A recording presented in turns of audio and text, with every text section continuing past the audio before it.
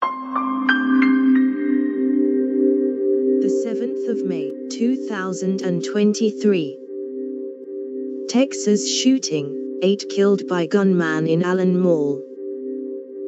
Police say a man opened fire indiscriminately in a shopping mall in the city of Allen north of Dallas.